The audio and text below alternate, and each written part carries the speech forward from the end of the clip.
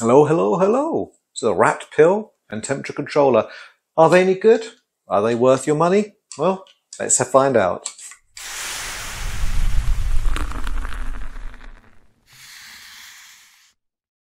Well, it's been two months now, and I've put several washes through um, the RAPT system. So what do I think? Well, the RAPT pill, I really like it.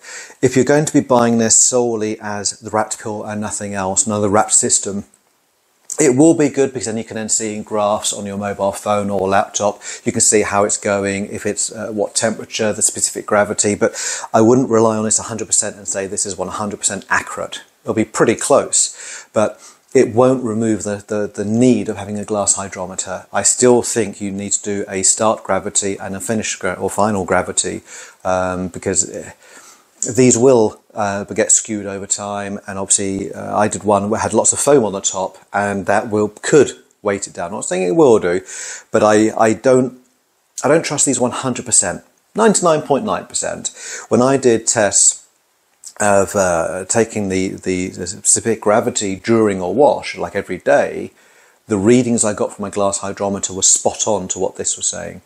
But then when they said it was finished, the actual, it reckoned it was, was it uh, 0.988 or something like that. And I thought, well, 990 is the, the, the, lowest you can get. So I don't really trust that so well.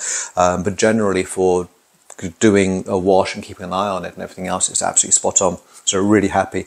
As you can see, I've changed the lid to a red one and I have bought the extras uh, and I really like the fact that you can do that. Uh, I have bought the spare bottom. Um, so if I ever need that, it gets damaged. And then I also have a bag of O-rings.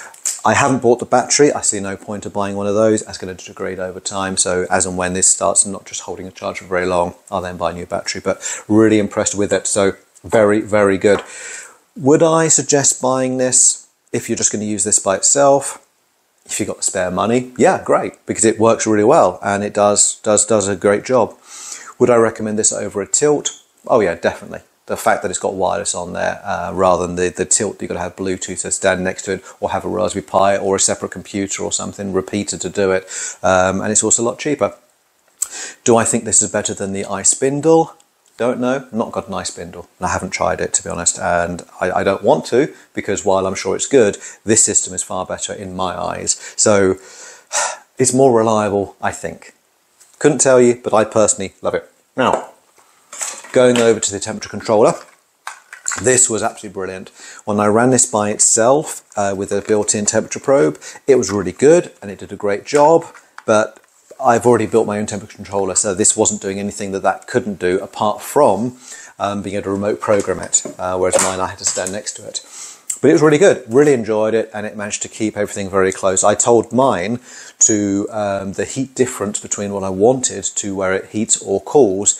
Uh, I think by default something like five or four, I can't remember what degrees. I changed it to half a degree. So literally, if it gets half a degree too hot or cold, turn something on and it works beautifully with the setup I've got. If you get one of these and have different heating elements or, or cooling, depending on your fridge, you might need to change that, different from what I had, but it worked. Now, putting the two together, oh my, it was amazing. It was the fact that I can then be at home and go, oh, where we are, I'm going to turn this up or turn that down and program it, and they work together really well, and it was it was incredible. Um, I've even created a spirit profile which says Heat this chamber or the, the brewing vessel to 28 degrees and keep heating it to 20 degrees until the specific gravity gets to 0.990. When the heating gets, or the specific gravity gets to that, cool to 3 degrees Celsius for 7 days. But don't start the countdown of 7 days until you've actually reached 3 degrees. Because if you can imagine 25 litres of liquid at 28 degrees Celsius in a standard fridge, trying to cool that to 3 degrees, that takes quite a few days. It doesn't do that overnight, so that way it doesn't remove the, it doesn't give, get seven days from the point it's finished. And anyway, once it's done seven days at three degrees Celsius, it sends me an email saying, wash is done and it's been cold crashed. So I can go over to it. Nice and simple. I don't need to do anything. The graphs seem really accurate. Um, uh, it, it is just really, really good. Um, so as I said, I've got two of these and I love it. And I would highly, highly recommend if you've got the money uh, to buy these, I would yeah do it.